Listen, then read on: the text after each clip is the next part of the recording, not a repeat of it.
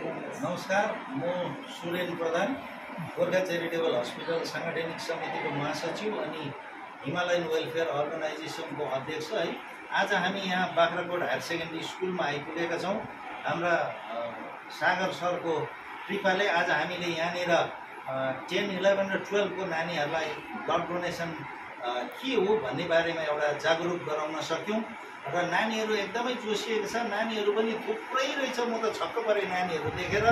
अनि नानीहरू खुबै जोसिएको छ ब्लड डोनेसन गर्नको निम्ति। आज हामीले नानीहरूलाई त्यो ब्लड डोनेसनको बारेमा अवेरनेस गराएको छौँ र यो आउँदो शुक्रबार अट्ठाइस तारिकको दिनमा हामीले यो बाख्राकोट हायर सेकेन्ड्री स्कुलमा ब्लड डोनेसन क्याम्प गर्ने भनेर हामीले सरसल्लाह भएको छ।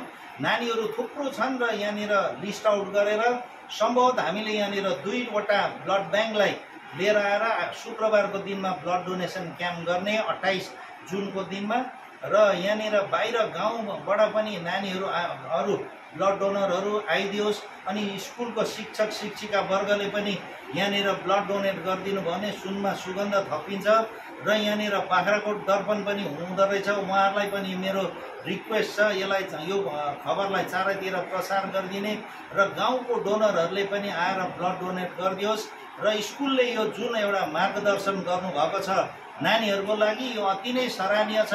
त्यस्तै मार्गदर्शन अन्य स्कुलहरूले पनि गरोस् भन्ने म चाहन्छु र सबै सबैलाई फेरि पनि म रिक्वेस्ट गर्न चाहन्छु कि यसरी अरू अरू जग्गामा पनि ब्लड डोनेसन क्याम्पहरू होस् भन्ने हवस् धन्यवाद।